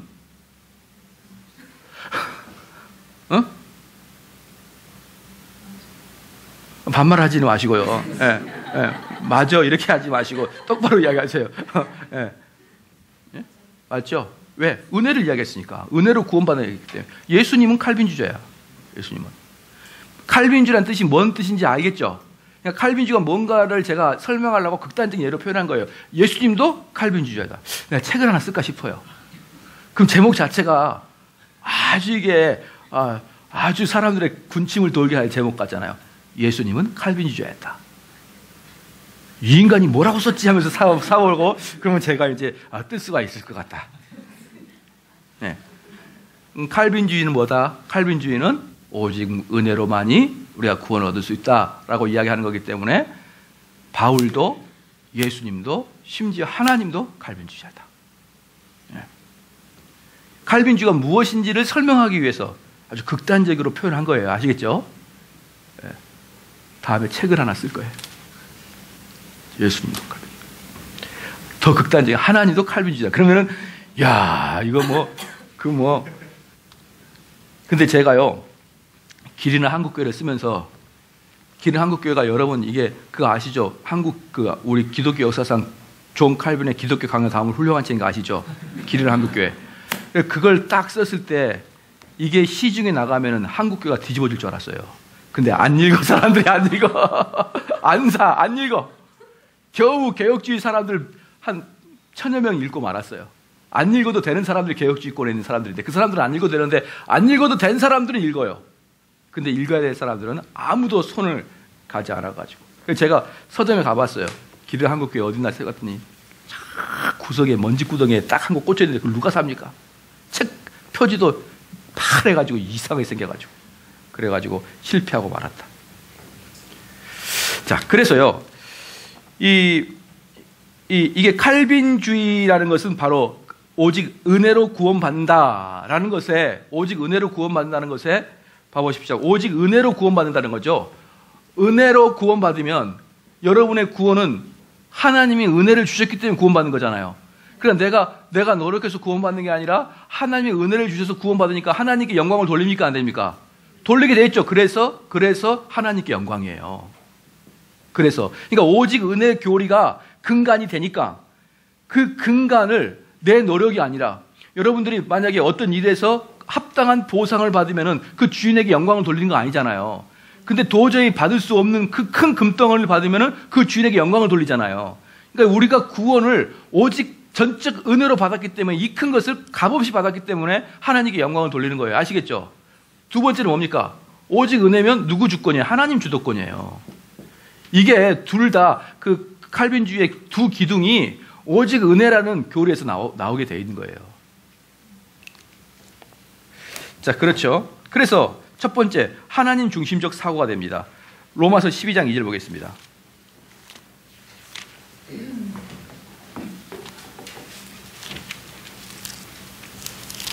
로마서 12장 2절. 자, 읽겠습니다. 시작. 너희는 이 세대를 본받지 말고 오직 마음을 새롭게 함으로 변화를 받아 하나님의 선하시고 기뻐하시고 온전하신 뜻이 무엇인지 분별하도록 하라. 자, 거기 봅시다. 그건 뭐라고 써 있어요? 어, 복음이 복음의 진리로 조명된 지성에서 출발하라는 거예요. 지성에서. 그러니까 이, 이 세상에 흘러 넘치는 것들이 어, 진짠지 아닌지를 분별할 수 있어야 되는데 그 어떤 사람들은 뭐라고 하냐면요. 자기는 영분별의 영분별의 그 은사가 있다. 영분별의 은사. 영분별의 은사는 뭐라고 하냐면요. 딱 얼굴을 보고 그들의 눈빛을 보고 아 이것은 이상하다. 영이 이상하다. 어? 영, 영에게 아, 뭔지 뭐가 문제가 있다. 영이 저 영이 나를 누르고 누르고 있다. 그렇게 이야기를 해요. 그렇게. 근데 그 영분별력은요, 그거 아닌 거 아시죠? 영분별력은 말씀을 딱 공부를 해요.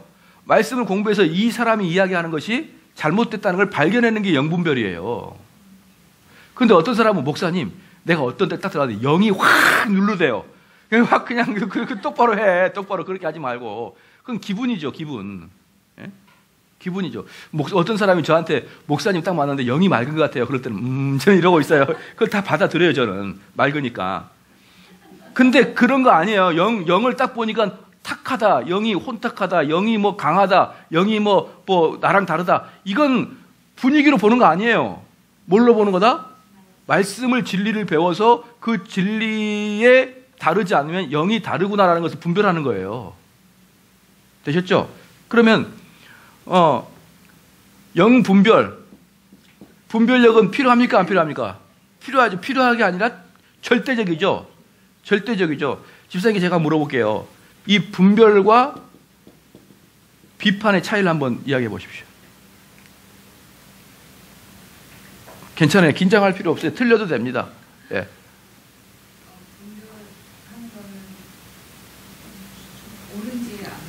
어, 옳은지 안 옳은지. 비판은. 어, 비판이라 했잖아. 비방이 아니고.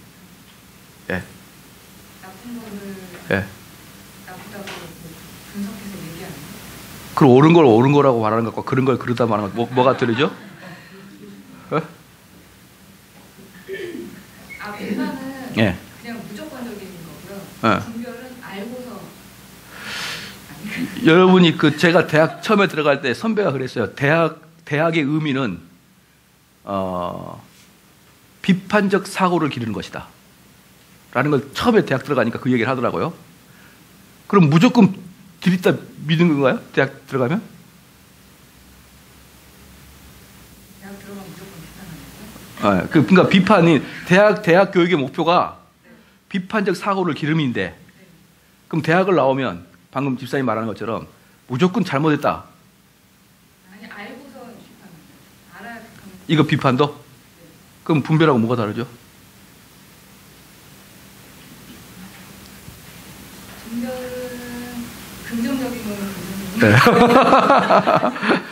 그럼 비판은 긍정적이고 부정이고 부정적이고 부정이고. 근데 알 알죠. 무조건적으로 좀 비판하는, 좀 나쁘게 이야기하는 거고. 그렇게 봐요. 궁색한 변명을 하잖아. 왜 궁색한 변명인 줄 아세요? 똑같거든요, 이 두 개가. 똑같은 걸 다르게 이야기하려니까 자꾸 궁색한 비판을 해요. 비판도 옳은 걸 옳고 그런 걸 그러다 그래서 비판적 사고는 뭐예요? 사람이 말하는 걸 그대로 바, 받아들이지 말고 그 사람의 말의 진위 여부를 판단해서 받아들이라는 거 아니에요. 그게 비판적 사고잖아요. 그러니까 무조건 국가의 말을 믿지 말고 무조건 뉴스만 믿지 말고 그 팩트를 찾아서 내가 가지고 있는 지식으로 다시 절대하게 그게 그게 비판적 사고잖아요. 그죠? 근데 분배장 똑같죠. 그리고 분별과 비판은 똑같아요. 그런데 한국 교회는 비판하지 말라고 하죠. 비판하지 말라 그러죠. 분별하지 말라는 거죠. 죽자는 거죠. 한국교회 목사님 중에 여러분 비판하십시오. 그런 사람 있어요? 분별과 비판은 똑같은 거예요. 물론 숙덕거림 말은 이거 아주 악하게 말하는 비방은 다르겠죠. 무조건 욕하는 거 다르겠죠. 하지만 옳고 그름은 구별해야 될 거 아니에요. 그런데 옳고 그름 구별하는 순간 어떻게 됩니까? 사람들이 아우 목사님 비판이 너무 많아. 예? 그러면 같이 죽자는 게 같이 죽자는 거예요.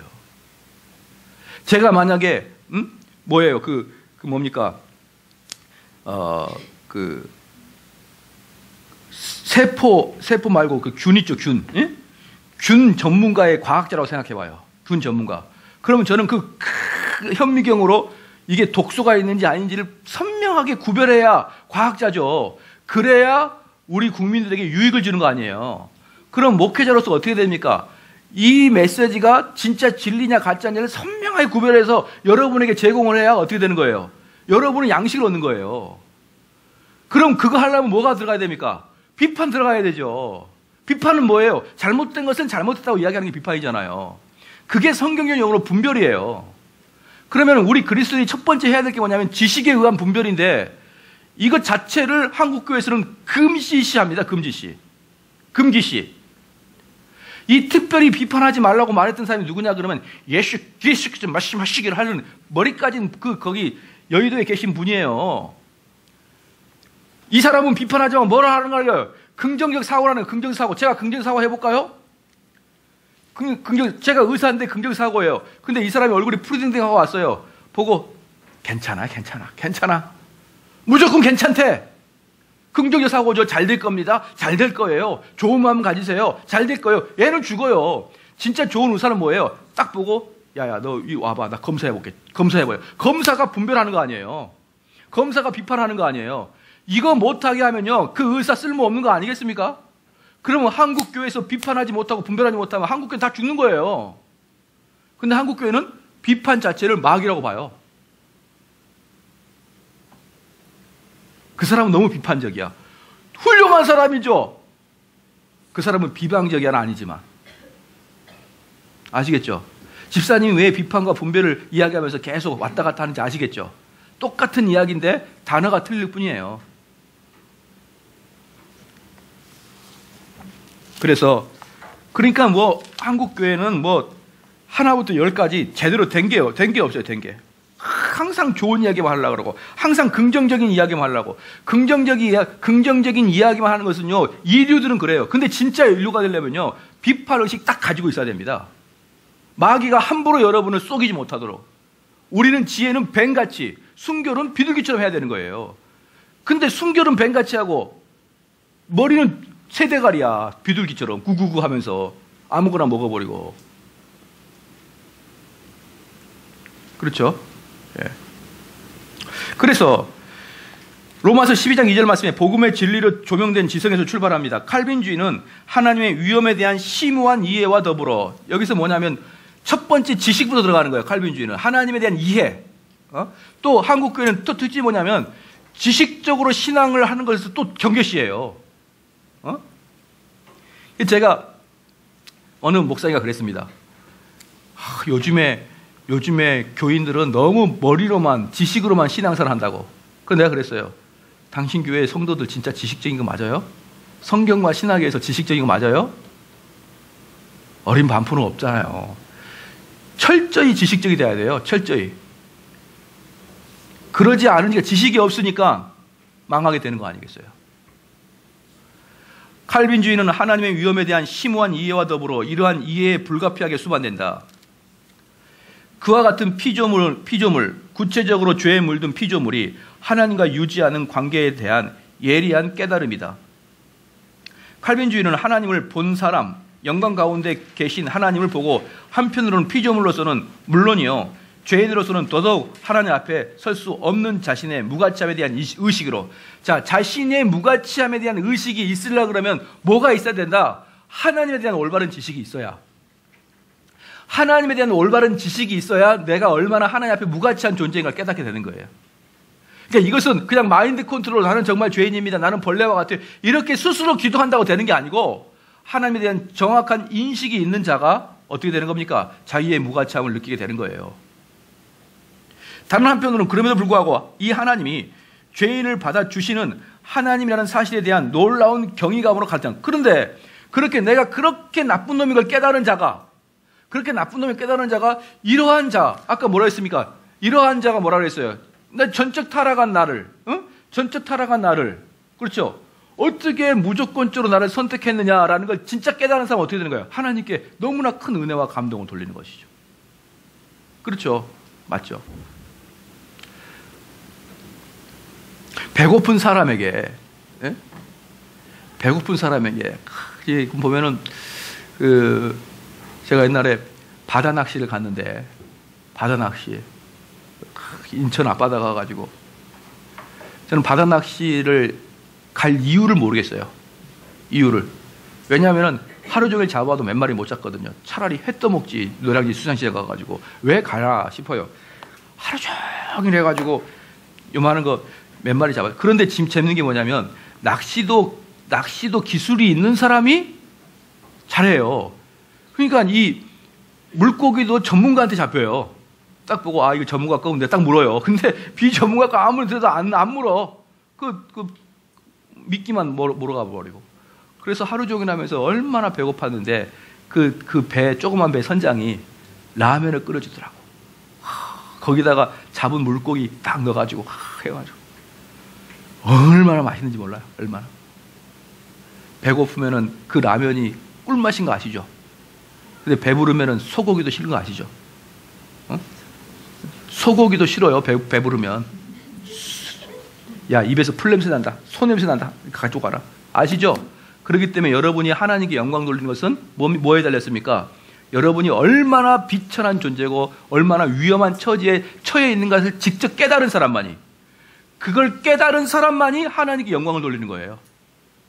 배고픈 자가 라면도 감사하듯이 정말 여러분들이 어, 연자맷돌을 들고 목에 메고 바다에 빠져 죽어야 될 그런 인생인 것을 직접 내 육감이 나를 그걸 인정했을 때 이런 하나님이 나를 이런 나를 하나님이 나를 은, 은혜로 선택하셔서 나를 구원의 길로 가셨게 했구나 이걸 깨달으면은 그게 하나님께 영광이에요. 그게 그럼 그 하나님께 영광을 갖고 있는 사람은 이렇게 비천한 존재를 하나님이 나를 끌어가시는구나라는 영광을 가진 사람은 기쁨에 넘치겠죠. 그 기쁨에 넘치는 사람들은 남편이 바가지 읽어도 하나도 안 슬퍼요. 하나도 안 슬퍼요.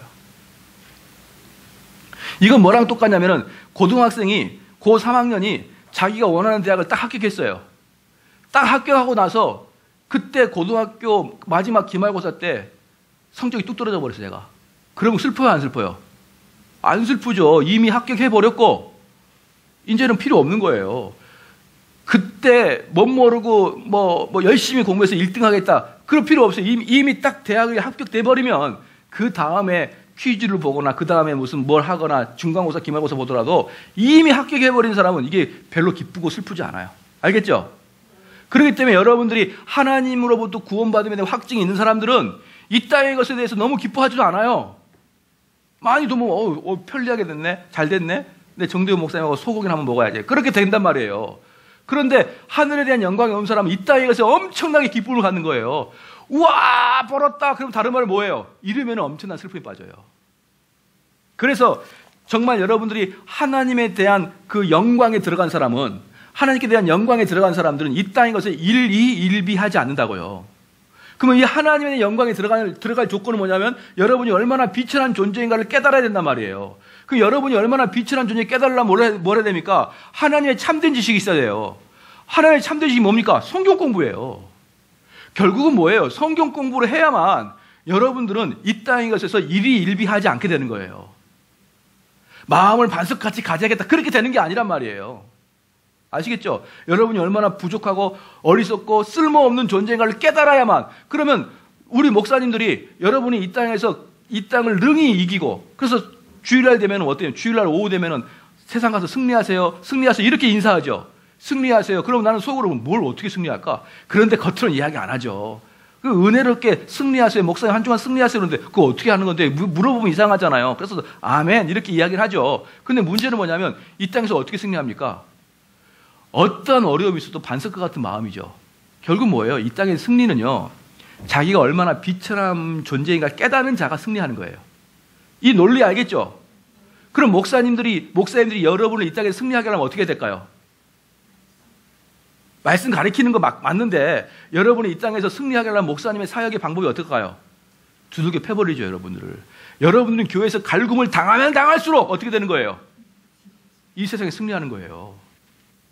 네가 얼마나 나쁜 자였으니까 네가 알야, 어? 네가 얼마나 나쁜 거 내가 보여줄게 하면서 얼마나 나쁜 거, 이, 것이 얼마나 나쁜 거, 너 분별 다 했어, 너 나빠. 이러면 이 사람 나가 승리하는 거예요. 근데 당신은 사랑받기 위해 태어난 사람, 이러면 이 사람은 실패하는 겁니다. 아시겠죠? 당신은 사랑받기 위해 태어난 사람이 아니에요. 뭡니까? 당신은 본질상 진노의 자식이란 노래를 만들어 봐요, 빨리. 당신은 본질상 진노의 자식이야. 당신은 진노받기 위해 태어난 사람. 당신의 삶 속에서 주님의 저주 이 말이 그렇게 해야 어떻게 되는 거예요? 이 사람은 세상에 승리하는 거예요. 잘한다 잘한다 그놈은 버르장머리 없는 데 됩니다 나중에. 버르장머리 없는 놈. 너는 사랑받기 태어났어 걔는 버르장머리 없는 사람 돼요. 보세요. 옛말에 우리 어른들이 뭐라 했어요? 훌륭한 놈들은 어릴 때부터 회초리 때라 그랬어요. 회초리 때려라. 걔가 훌륭하게 됩니다. 오냐 오냐 자식은 무슨 자식이다? 예, 그런 속된 말은 안 하겠어요 오냐 자식 뭔 자식이 다 있어요 호자로 시작하는 더 이상 어, 경건한 입에서 그런 거 나오면 안 되니까 호자까지만 예? 호식일 수도 있고 호빵도 있을 수 있어요. 호자는 많아요. 그렇죠. 그래서 에, 칼빈 그 여기 나오는 게 뭐냐면 더더욱 그 칼빈주의 있겠습니다. 다른 한편으로는 그럼에도 불구하고 이 하나님이 죄인을 받아 주시는 하나님이라는 사실에 대한 놀라운 경이감으로 가득한 사람이다. 기탄 없이 하나님을 믿고 그 모든 생각과 느낌과 의지에 있어서 지적, 도덕적, 영적인 자신의 삶의 모든 영역에서 하나님을 자신의 하나님을 여기기로 결심한 사람은 자신의 개인적, 사회적, 종교적 관계 전체를 통해 사고와 생활 속에서 효력을 발휘하는 원리를 관장하는 가장 엄밀한 논리의 힘으로 그러한 상황의 필요성에 따라 칼빈주가 된다. 비비 워필드입니다. 어, 그래서 여러분들은 이 칼빈주의는 뭐냐? 그러면은 이거랑 마찬가지예요. 항상 주님의 말씀에 의해서 자기가 눌러져 있는 자, 어? 자기가 비천하다고 느끼는 자, 이게 칼빈주자예요. 말씀을 지적으로 받아들여서 그 말씀이 여러분에게 네가 얼마나 비천한 존재인가를 깨달게 해주고 그 비천한 존재인 걸 깨달은 사람들은 그렇죠? 어, 요, 요만한 요만한 요만한 성장에도 어때요? 기쁘죠. 요만한 성장. 왜? 너무 비천하니까. 그래서 여러분 사실은 학교에서 제일 행복한 애는. 꼴뚱한 애. 엄마 이번에 내가 10명 쟀겠어. 조금만 하면 10명 제껴요. 꼴뚱 하나, 꼴뚱에서 앞에 하나, 걔가 비슷해요. 다 비슷해. 그렇기 때문에 걔네들은 특징이 다 자요. 그냥. 근데 좀만 덜 자면은 올라가잖아요.